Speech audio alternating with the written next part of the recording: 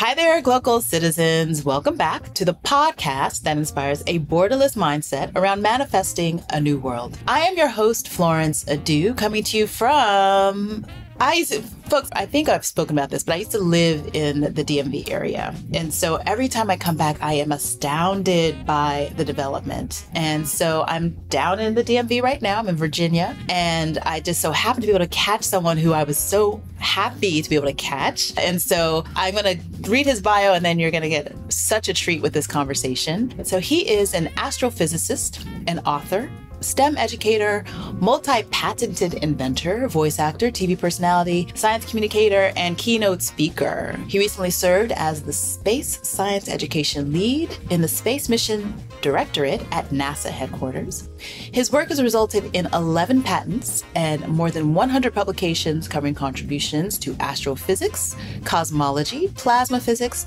and the development of science missions, observatories, focal plane instruments. Folks,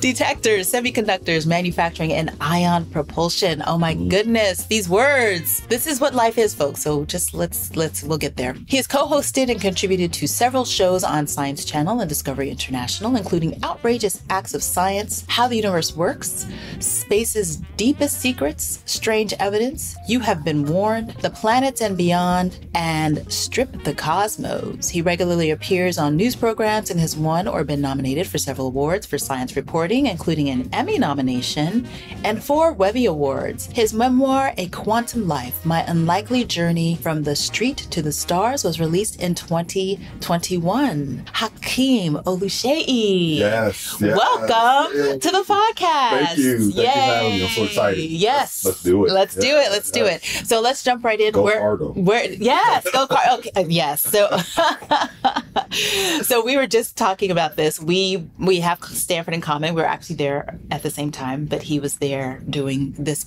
amazing work for a little bit longer than I, but we'll talk more about that too. And so let's get started. Where are you from? Where are you local? And what is your craft? Okay, so I am from, I was born in New Orleans, Louisiana. Mm-hmm. Uh, it was my mother's birthplace. When her ancestors came to the U.S., they came to New Orleans. And so that's where I was born several generations later. My father's family is from Mississippi. So I spent my teenage years in Mississippi, my Okay. teenage years in early 20s. So I'm, I say I'm from New Orleans and Mississippi, Mm-hmm. right?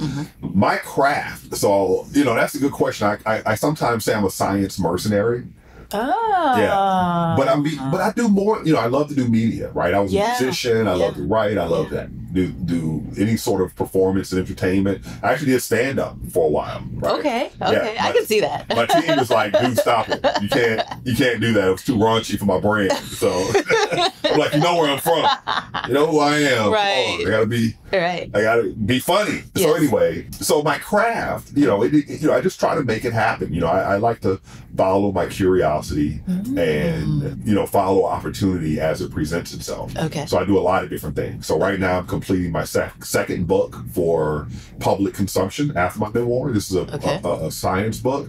I have a contributor agreement with ABC News. Okay. I'm about to launch a podcast Okay. with uh, Roddenberry Entertainment and someone else is to be announced in a week. Okay. Uh, I got a movie deal with Oprah for my memoir. Yeah, yeah. Wow. Oh, awesome. Yeah, yeah. Originally, I got it with, with Chadwick Boseman, Okay. but after he passed, Yeah. the studio killed the deal, Okay. and so we went back out and is in collaboration with Harpo and Tribe- Tribeca. So I actually got to, to hang out with Oprah on Zoom.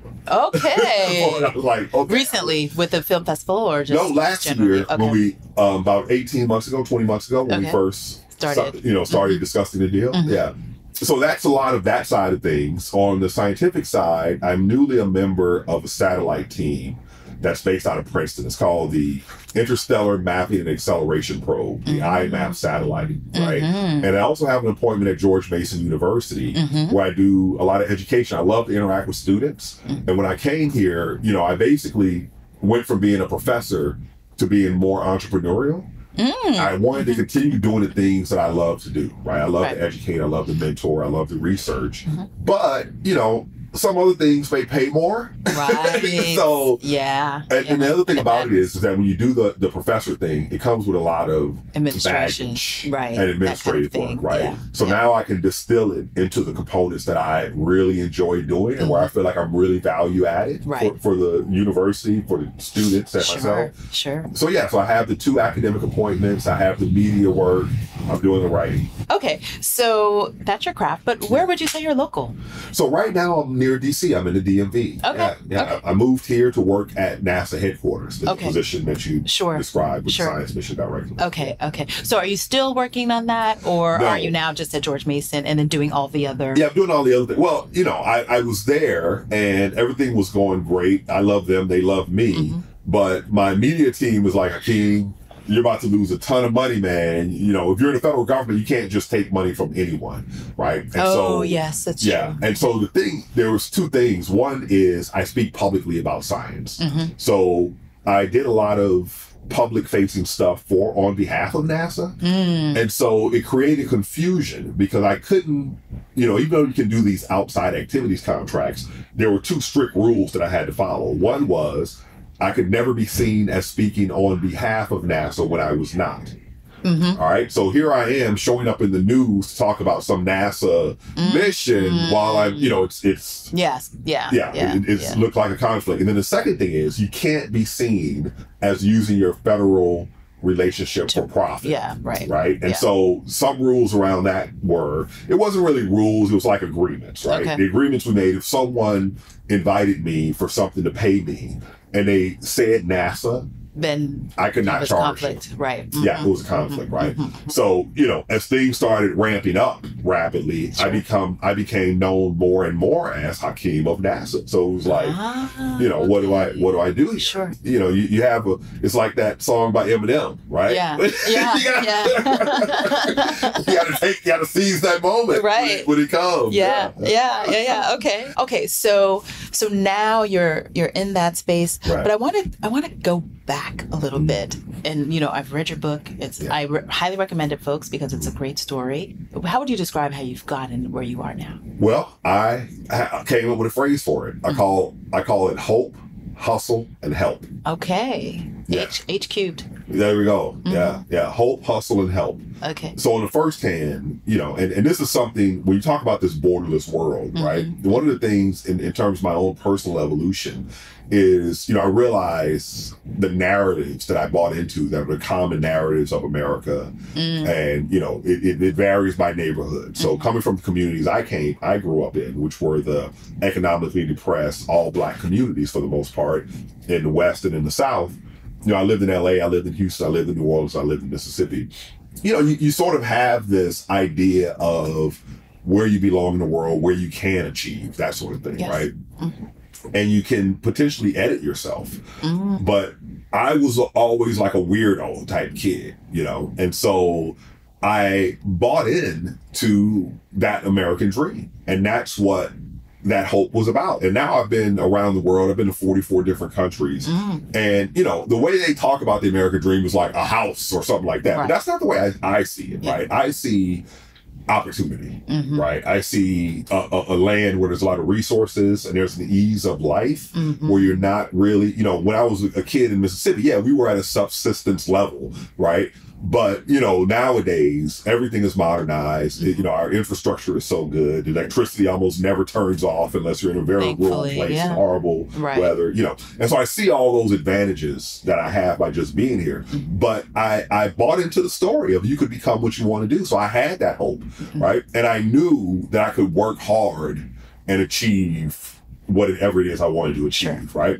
And growing up in the deep woods of Mississippi, hard work was like expected of everybody at all times, Yeah. right? If, if somebody said he don't want to work, you know, that that was like the worst description you Yeah. could ever be assigned yeah, So you yeah. you know, I was hauling pulpwood at 12 years old. You Yeah. know, you're work, you're slopping the hogs. You know, you know. My sister's youngest brother-in-law, she married into a family of 14. Yeah. You know, we're going out here in these woods. Howard Lee was like seven, eight years old out here doing forestry, hauling pulpwood with us, right? I was 12, Chris was 11, Darryl Wayne was 13 yeah with the dad, right? Right, yeah. And this is hard labor, right? yeah So yeah, so that's the hustle part. mm-hmm Mhm. But without help, oh my God, Mhm. I would have gotten nowhere fast. Mhm. And so in my story, it seemed like these people just showed up at magical moments and just led me to the next step. You know, Mhm. and without them, you know, there's a lot of people who become, you know, who who change their station in life Right. and you might have this sort of,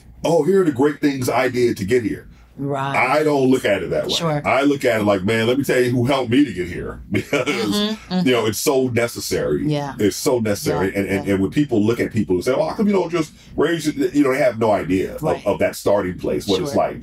You know, going to Stanford, like we said, and, and seeing the difference Mm-hmm. Yeah. in what people would talk about, Mhm. i- their experiences was from mine. It was just like, man, I was blown out of this race before I even got to the starting line. You know, right. Yeah. Yeah. Yeah, That would be the experience. Yeah. So you said a, a key thing. I like. I really agree with you wholeheartedly about the help side of Oh, things. And so you now, in one of your roles, Oh, you're you are you are very helpful in, That's what I in try to do. mentorship and, and all those things. So so give us a little bit of an understanding of how that is weaved into the work that you do. Right, right. So, you know, it's an evolutionary process. Yeah.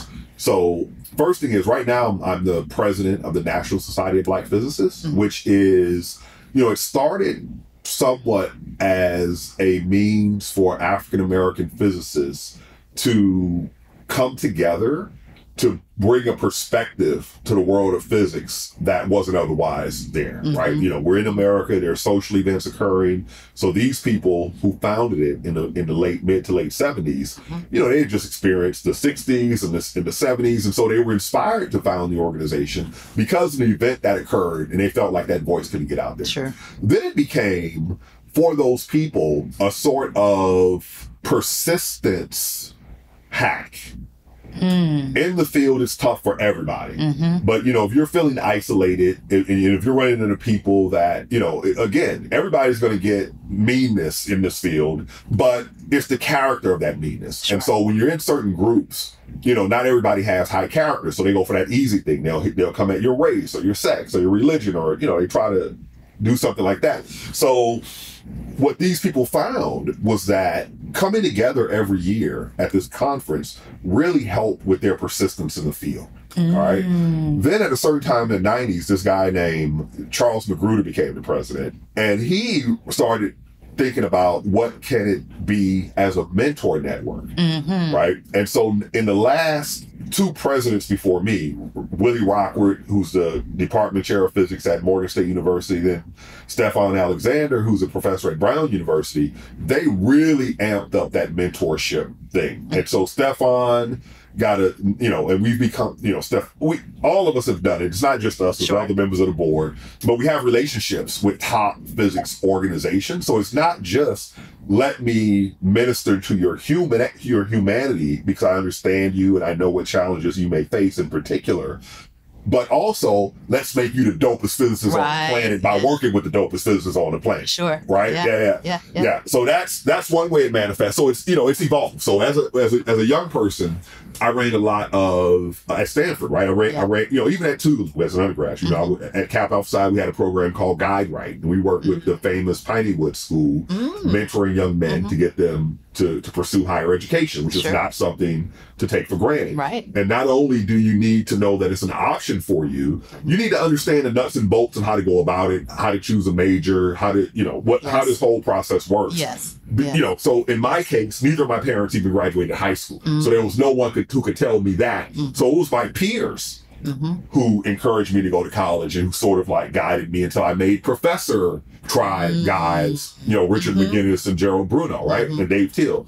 So then the thing that happened is my PhD advisor, Art Walker, was an African American. Even though he was super accomplished, full professor at Stanford, pioneer in a couple of fields, he would still have to face Yes. these attacks. Of course. Mm-hmm. And so by watching him and talking to him, he showed me how to challenge these things the right way. All right? Mm-hmm. So the very first thing I do is I go to Silicon Valley and they come at me and I survive it. Right? I, I, I survive it and thrive further.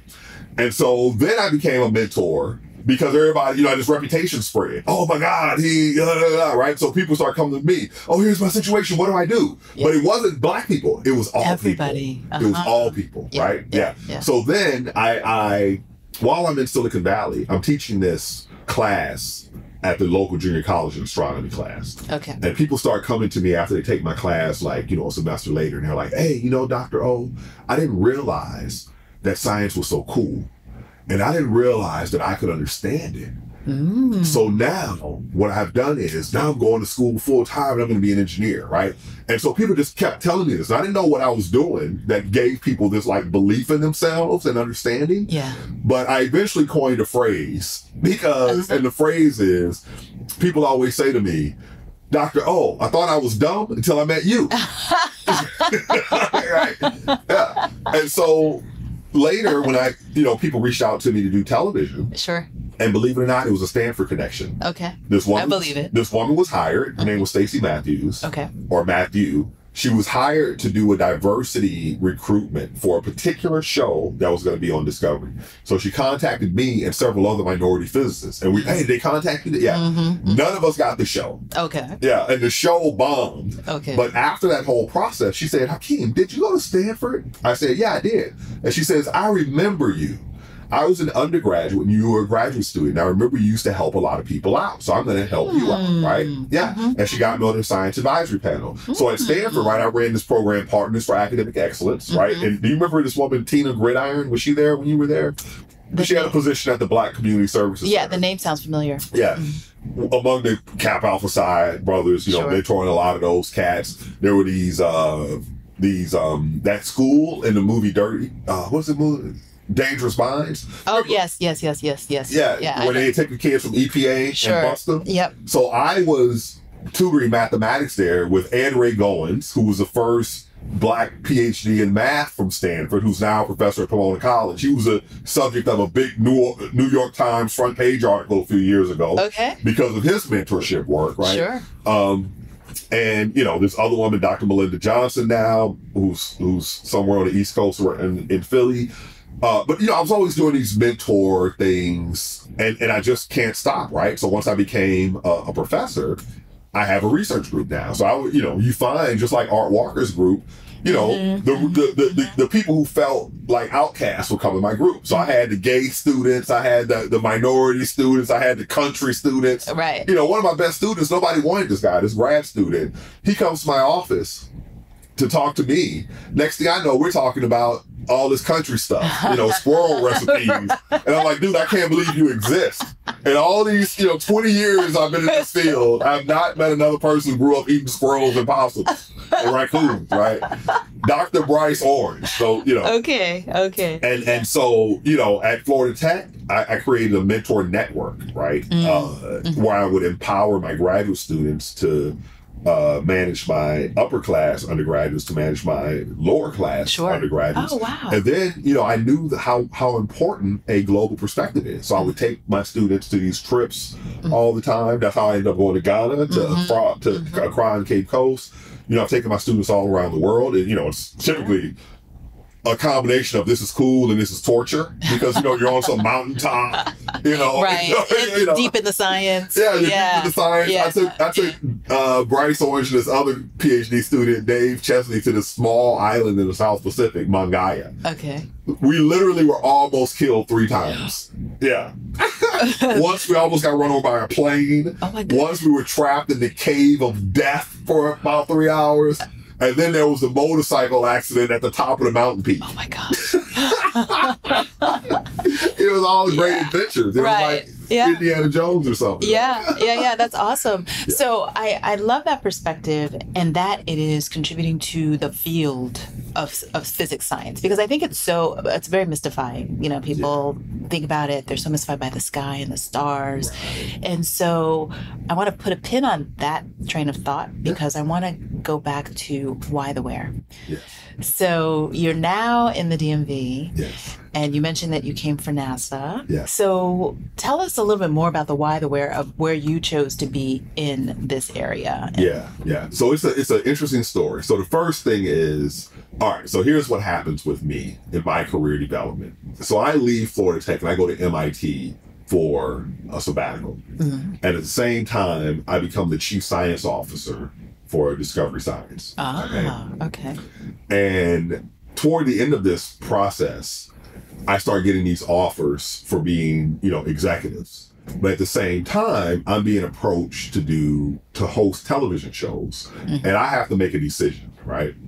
So I submit a letter of resignation to Florida Tech, and my dean is like, "No, we're not going to let this happen. You're not going. We're not going. So what we're going to do is we're going to give you a unpaid leave of absence, and we're going to find some way to keep you here at Florida Tech." Mm. Then a colleague who I know for many years starts recruiting me to NASA headquarters, right? And I'm just like, oh man, what am I gonna do?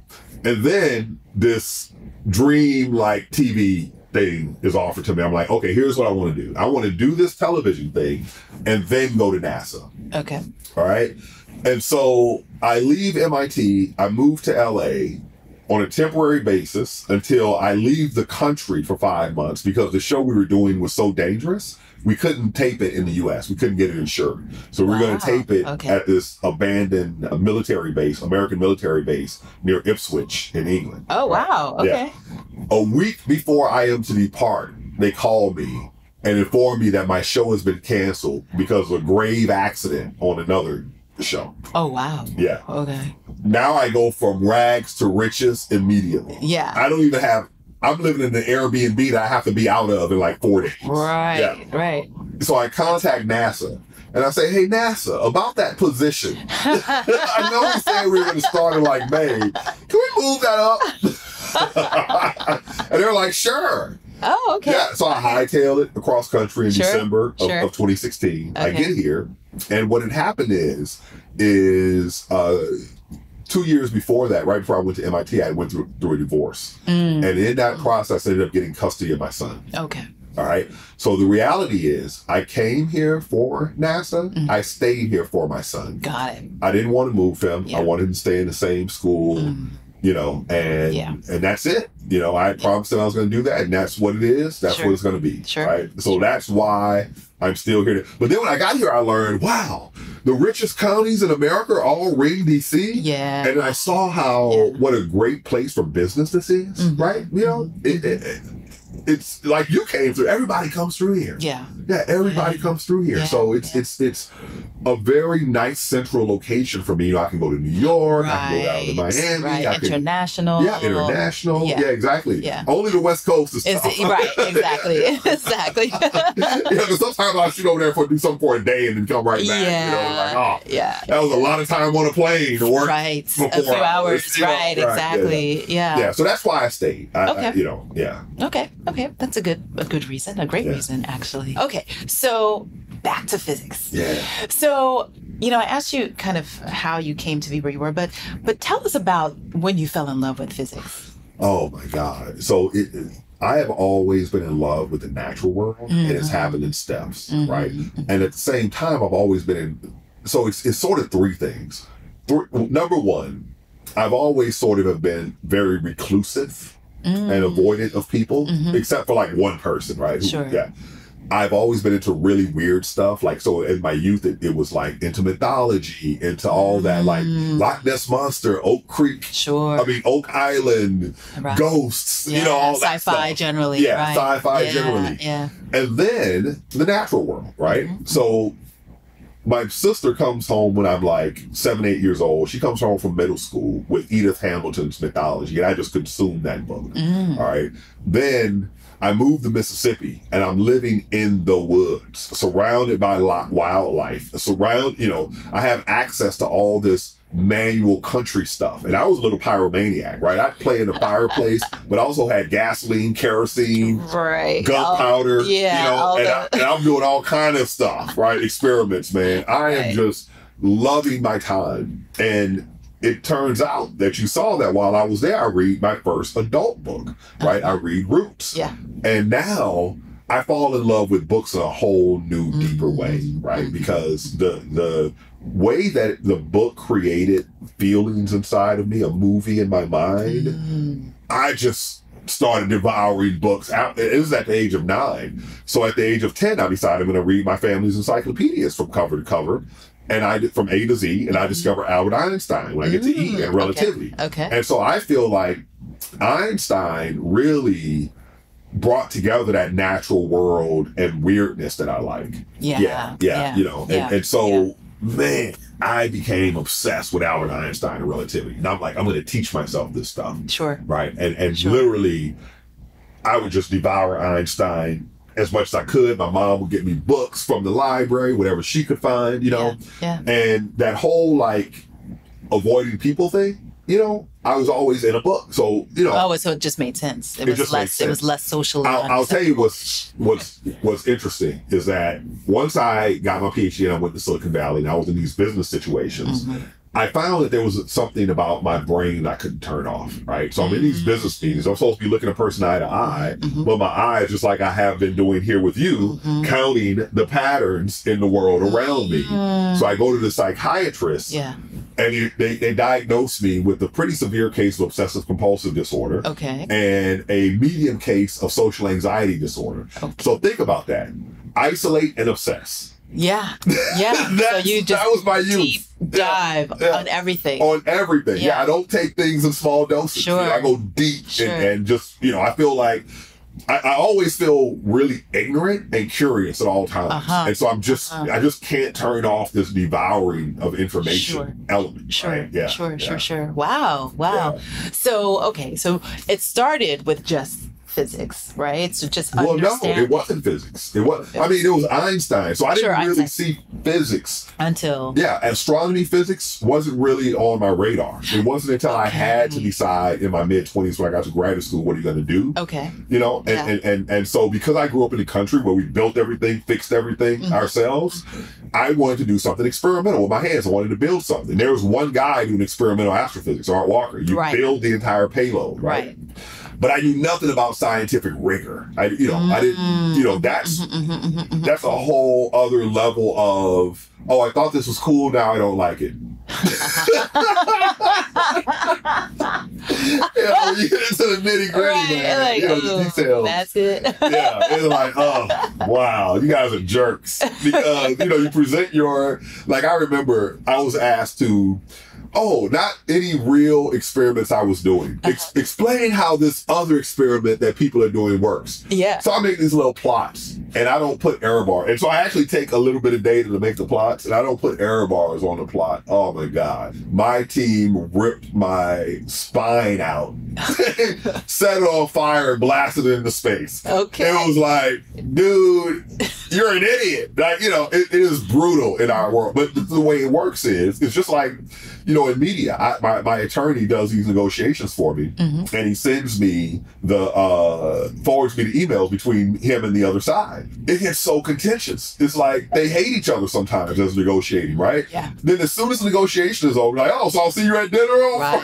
You know, yeah. Yeah, And it's like that with a scientist. You know, Sure. you- you're a big idiot. Oh, you're an Yeah. idiot, right? They're like, okay, let's go to lunch. Yeah. Right? Yeah. Yeah. You Yeah. know, Yeah. Yeah. Let's go grab a beer. Right. Yeah. Yeah. It, it- it's just the way it is. Sure. Right. You, you know, our, our default setting is uh, Challenge. challenge, Mhm. skepticism. Mhm. You must defend every lip. If you didn't think of something, Mhm. that means you don't know it. That means you're an idiot, right? You, mhm, you forgot to address something, you know, or, you know, you might think something is not worth addressing. Like, Mhm. oh, because I'm on this mountain, gravity is slightly different than it is on that hill. I didn't take that into consideration. So, you know, Right. it's all these really subtle things. Yeah. Yeah. Okay. So you happened on it because of your aptitude for building Curiosity. things. Yeah. Right. Right. Right. But now I want to understand about the stars. So Yeah. so how did the stars become you know all of the things that i just talked about in your in your bio Yeah. in terms of cosmology and and Yeah. even the mechanics of it so Right. in silicon valley Yeah. i'm assuming you worked for silicon i'm a, a conductor applied semiconductor right Yeah, exactly exactly and so how did you see yourself taking all of this science and Right. then actually applying it and then moving that from you know the corporate world to the actual practice of yeah, going yeah. Well, I did not. I didn't develop my career in that way. yeah yeah The way I developed my career was okay. High school is ending. What can I do to have food and shelter tomorrow? Mm. Oh, I'll sign up for the Navy. hmm Now that I'm out of the Navy, oh damn, what do I do? My my buddies convinced me to go to college. I realized, oh, during the academic year, because I'm enrolled, I have a dorm and a meal plan. I'm good to go. But my first two summers, of course, I was homeless. right? Mm. And that second summer, I got lucky because I got accepted into this research program that I never applied for, Right, right? right. And and and I learned that thing called research. Yeah. And I learned that it was a world where you know it seemed very different from the world that I lived in, which seemed very, you know, it was fully segregated Mississippi Sure. right? You know, every job I had was a minimum wage job, and they were very hard to come by, very difficult to get. And when you got them, things weren't always fair, Sure. right? And Yeah. here I here I go to this world of physics, and it's like, no, dude, we're not gonna look over your shoulder. Work whenever you want to work, right? And I'm like, really? And then at the end, they're like, oh, we're gonna judge you based on the merit of the work you did. And I was like, you gotta be kidding me. You know, Right. you're treating me like I'm anyone else, and it was just mind blowing. Yeah. And so I was like, science is the place for me, right? Mm. But I had no idea how to go about that. So when I go back from my that first summer research program, I go back to college and, and drop out. You know, I'm failing because I'm in the streets and all this, right? But luckily, again, one of these magical people showed up. This woman, Cynthia McIntyre, shows up from MIT. It's mm-hmm. like, oh, I started a conference to help students, National Conference of Black Physics Students, it was called, mm-hmm. to, to help other African Americans know that physics is a career and here's how you do the nuts and bolts. Yeah. And there is where I learned about graduate school and what it took to get into graduate school. And, you know, and then I got my professor mentors, Dr. Bruno and McGinnis and Teal, who were like, dude, you know, you can still, like, I had, you know, less than a 2.0 GPA at the time I, I dropped out, Mhm. right? You know, Mhm. and, you know, Dr. Bruno was like, hey, man, you know, you can, you do two good years, you can still get into top graduate school. And I said, top graduate school? He's like, yeah. He's like, you have the talent, man. You just got to like focus. And and they knew that I, unlike many students, so I got married very young by Sure. 1988. And the reason why I got married was to get myself out the streets, right? Mm. I felt like I was going to die. Mhm. I, I found myself at gunpoint a number of times. Mm. And I reasoned, I was like, listen, the only reason this didn't happen earlier is because my mom required me to be home at a certain hour. Sure. Right? Because when I was finding myself at gunpoint, it was between like midnight and 6 a.m. Right? Right. You know, When you. yeah, when I'm out there with the zombies and the Mhm. right.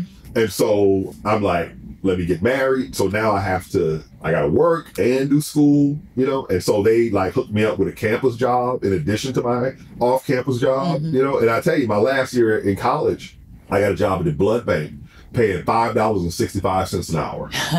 My friends and I were all like, "You got it made, Right. five sixty-five, Yeah. right?" The minimum wage was four dollars an hour yeah. that was like big money, right? and so the funny thing that happens is when we get to Stanford, my ex-wife and I, Yeah. uh, we, she gets a job. She had a, a semester left in nursing school. Okay. All right, so so the first semester, you know, from like September through the end of December, she just got a job, and she got a job at a sandwich shop. And she told me the story of when the woman hired her. Uh-huh. She apologized that she could only pay her seven dollars an hour. And when she said that to me, we literally started dancing. in the living room. Seven dollars an hour. you know, people, you know, Yeah. you're, you're from Ghana, so you get it, Yeah. right? You understand that there's levels to it. But the Yeah. average American, you know, Yeah. eh, we're, you know, in the 2023, Right. they're talking about the minimum wage be thirty dollars. Right. Yeah. Yeah. Worlds difference. Yeah, very different, very yes, different yes, world, yes, you know. So when I got to the end of grad school, I knew I had options, right? Mhm. So I knew I could go standard, postdoc, continue doing solar Sure. I was being recruited into Wall Street because options modeling was new. Hmm. And and that's what I did. I didn't do options modeling. I solved systems of differential equations Right. computationally and Yeah. modeled them, right? Yeah. Same thing basically. yes, right? basically. So I was getting recruited to Wall Street. Yep. And I also started voice acting for fun on the side. Okay. And I was getting some play. I was doing a lot of work for MTV, believe it or not. Okay. Okay. and I was doing like okay. wine commercials, Sure. college Sure. commercials. And I was like, should I pursue this? You know, and I go to the career fair and I drop off my CV with these tech companies. And one of them, Art Walker, happened to have a buddy who was a vice president. Oh, okay. Yeah, this guy named Glenn Tony. And so I got to talk to Glenn about the semiconductor field, right? And he he pretty much, you know, I felt, you know, I like to learn things that are new. Mhm. And I felt like if I, you know, I had just come to Stanford, you know, I left my country world, I knew the hood, I knew the country, hmm but I didn't know this fancy world of, Right, you know, people with, you know, Yeah. education in their family Sure. and Right. Yeah. you know, all these options of career options, you know, Mhm. and I didn't know what was going on inside of corporations. Okay. And I felt like, you know what, let me go do that corporate thing Yep. so I can know what the corporate thing is. Right. And the fact that they paid twice as much as a postdoc didn't help. I mean, didn't hurt, right? Right. So I go into Silicon Valley, and man, I love it and hate it. Mm-hmm. Right? I love the the the sense of accomplishment I got Mm-hmm. in it because it just seemed like I'm like, man, this stuff is easy. They struggling. It is. This is some easy stuff. you know, compared to that Right. what I had just gone through. Sure. You know, Sure. Sure. so I rapidly got like all these patents in like a year and a half, you know, and, and, and things are going decent, but I hated the culture. I Mm. absolutely hated the culture. When the downturn hit, the way Yeah. people started behaving, Right. you know, the dot com bubble burst, Yeah. it really just turned me off. Right. And so I thought to myself, what do I really want to do for the first time? Okay. And I'd always been attracted to cosmology. Oh, okay. Yeah. And so a mentor sent me this job ad, a gentleman named Keith Jackson, who was also president of the National Society of Black Physicists Mm-hmm. in the early 2000s. He's like, Hakeem, you ever think about applying for this job? And I did. And it, the dark energy had just been discovered. The fact that the, Mhm, the and, and so the irony is in 1991, the summer between Tougaloo and Stanford, I did my first physics research at Berkeley. Okay. 1998, dark matter is discovered, and and you know one of the guys who's the leader is this guy named Saul Perlmutter. All right, so when I go to do my interview for this cosmology position at Berkeley, I have the interview with Saul Perlmutter. So I'm like really excited because I know you know this guy's going to be a future Nobel Prize winner. Sure. I get that I'm like, wait a minute, you? And he's like, wait a minute, you? Oh. Because I changed my name. Right. He didn't know I was me, Oh and I didn't remember his name. Sure. But I worked closely with him Oh in the summer gosh. of '91, right? Okay, Yeah, okay, because he was yeah. like a dead ringer for Woody Allen, you know, Yeah. space you don't forget, Yeah. right? so I'm like, Saul, he's like, dude, you're hired. Oh so, I- wow. yeah. So I go in there, Yeah. and this is when I start discovering that I'm an inspirational speaker generally Ah. right? You know, so when I was in the military, when I'm like with my fraternity brothers and trying to get people to rah, you know, I, Yeah. I was an inspirational speaker, but I didn't know I could just go talk to general audiences and be inspirational. Sure. But what would happen is Saul would get these requests to speak, And he didn't want to do it. and if he was unavailable Okay. Mhm. for whatever reason, they would call me or this guy Andy Howell, who's now at the uh, Las Cumbres Observatory in S- University of California, Santa Barbara, right? Okay. Mhm. And and so, you know, I, I started getting this feedback about how great my scientific talks are. Yeah. Right. And I'm like, oh, okay. So now I realized that I had a talent for helping people to believe in themselves and also to inspire them through this science stuff. Uh-huh. So I'm like, hey, there's a lot of people out there like me who have no idea about this stuff, Yeah. who don't think they can do it, who probably don't even know it's an option. Mm. And if I go talk to them, there will be a lot more people like me here. Because let me tell you, when I first got into the field, I hated everybody because it's so elitist. Mhm. It's so, you know, like three Mhm. guys in my research group, they were sweethearts to me. hmm Their fathers were PhD physicists. Right. Right. Like, even though they were nice guys to me, it didn't mean they weren't jerks to me at the same time. Sure. Right? You Yeah. know, the well Yeah. actually got that whole sort of thing, right? And so I was like, you know, I'm going to show them, you know, I'm going to show, because it's almost like people feel like you have to boring for it, but it's really a cultural judgment, you know. Uh-huh. And at Stanford, I was judged to not, I wasn't judged on the merit of my work initially. I was judged Mm. based on how I came across, Mhm. right? You know, so I, I didn't speak the way I speak now, Mm. right? I, you know, and, and You were, so, yeah, you were just from the south, so yeah, I was from the deep south. How many Yeah. scientists do you see on television Right. with a deep southern accent? Right. It just Yeah. doesn't happen, Yeah. right? You're, you're Yeah. prejudged. Yes. And so I had a lot of boxes Mhm. that led to being prejudged, Yeah. right? And I, you know, I was always the type of guy who would be like, you know, let me gather the nerds to defeat the jocks, right? You know, I've always like had that underdog Yeah. mentality. Let me gather the underdogs to Yeah. take on the, Yeah. you know, the ones who have it all, right? Sure. Yeah, and so that's what I began doing, and that's what, and so luckily, I, I, I go to this one conference, National Society of Black Physicists conference in 2002, and I'm on the, the bus with this from the show, from the airport to the hotel, and there's this dude on there, this white dude, the only white dude in the show, and I go, hey, who are you? He's like, oh, I'm Kevin Hand. I'm a graduate student at Stanford, and I'm like, no way, dude, I just graduated like three years ago. And we start chatting, right? Yeah. Cool guy. Yeah. By the way, today He's a senior scientist at the Jet Propulsion Laboratory and uh, uh, principal investigator for the Europa landing mission. Right? Oh, wow. Okay. a planetary scientist. Okay. But he was a grad student at the time. Yeah. So I go to the conference and I wake up at 11 a.m. or noon or something, and I'm like, oh, let me go look at the talks in the afternoon. Yeah. And different rooms have different talks going on. So I'm walking past, you know, plasma physics, optics. This one says physics in Africa. And I'm like, mm. I'm going there. Mm-hmm, mm-hmm. I go because I was always Mr. Afrocentric guy. I changed my name to Sure. Hakeem you know, Yeah. before I went to Africa. Yes, Yeah, yes, then I'm yes, like, I go there and I'm like, okay, I'm American. But still love it over here, right? Yeah. But Yeah. it's, you know, I hear these Afrocentric rappers, I was like, sounds like you haven't actually been to Africa. I'll tell you a funny story, right? Because I'll tell my friends who are African, I'm like, you ain't as black as you think you is. I say it like on purpose because I was sitting in Cape Town with two African astronomers, mm-hmm. Thebe Medupi, who's South African, mm. and Pius Okeke, who's Nigerian. Okay. And I said to Thebe, I come to Cape Town, it's not like anything like the other parts of South Africa. It's not like Johannesburg area at all, Yeah, right? it's. And I'm like, you know, Thebe, when I'm in Joburg, if I don't speak, people assume I'm Zulu. What would people think I am in Cape Town? And he says, oh, here we consider you what we call a color. Right. right. So Pius Okeke, the Nigerian guy, starts laughing. Uh-huh. And we're like, what's so funny? He goes, I, I have a confession. I saw your name on the program, Oluseyi. And I was confused because how could there be a Nigerian astronomy that I don't know? Right. And then when you got up to speak, my first thought was, who's this white man with Nigerian name? In Nigeria, you are a white man. Yeah. Yeah. like, oh, no, right? yeah. Yeah. And I'm like, it's complex. Right. This planet is more, it's not like we think it is. The narrative that I've been uh, under all my life Sure. is not the reality of the planet. Yeah. right? Yeah. So anyway, going back, back to track. Kevin, I go into that physics in Africa session, and who's talking but Kevin? Okay.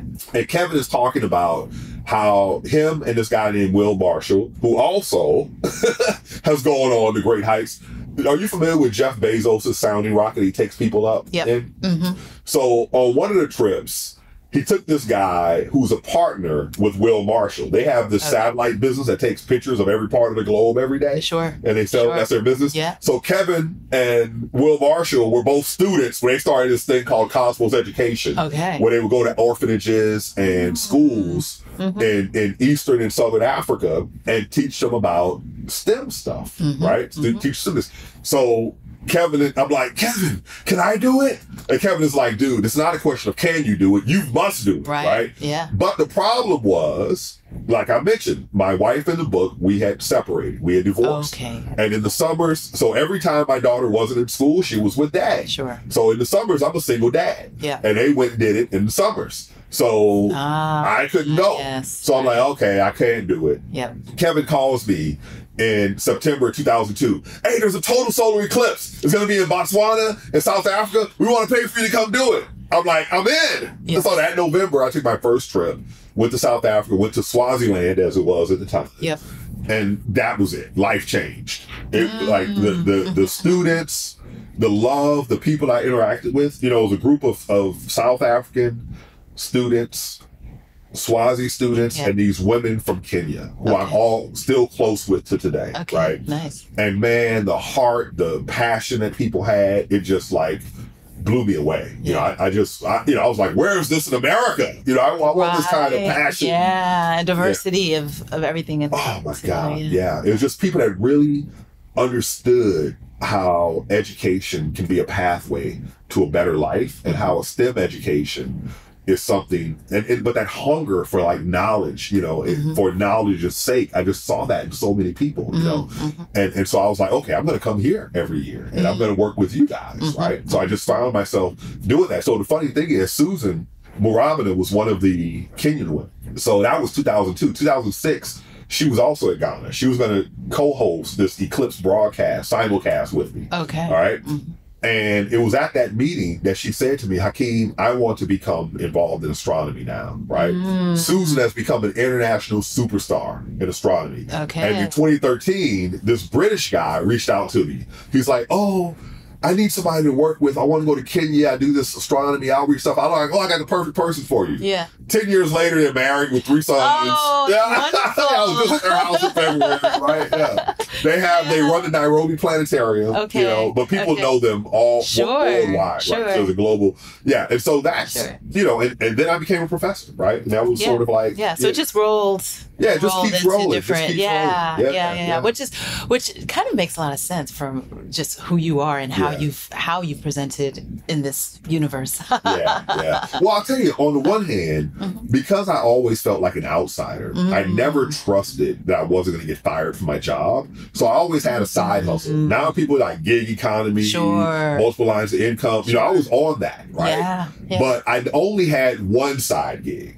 And then somewhere around 2010, I read this article that said the average millionaire has seven lines of income. And I was like, oh, it was like a light bulb went Right. off in my head, right? Yeah, And yeah. so I started developing other things that I was doing into business. Like, Got for it. example, as scientists, we all speak, right, right? But we all speak for free. right. you yeah, know, we might get exactly. 500 to 1500 depending, Sure, right? sure, sure. And so I'm like, and again, I luckily meet this woman named Adora English. Mhm. I was introduced to her by the woman who ran Science Channel. Her name was Debbie Myers. Okay. And it turned out that that Adora and I, we met here in the DMV, but Adora and I lived an hour apart. Oh, okay. Yeah. So we started hanging out. She started telling me how to become a, a media person. Sure. And she's like, "Oh, you'll need this person. They cost this. You're gonna need this person. They cost this. You're gonna need this person. They cost this." And I'm like, "Okay, it sounds like I'm not gonna do it, right? because as a professor, I'm just broke at another can't. level. Right. I'm still Yeah. paycheck to paycheck. I got, you know, Yeah. my salary is like what, you know, uh, well, my summer salary plus regular salary, I'm making like 110k, but I'm still broke. Right. You know, I got a Yeah. mortgage. You know, right. I- yeah. Family. All those things. Yeah. yeah, yeah. So I'm so I'm like, okay, I don't have the money to do that, so I'm not doing that. And then Adora tells me, she goes, Hey, you know what?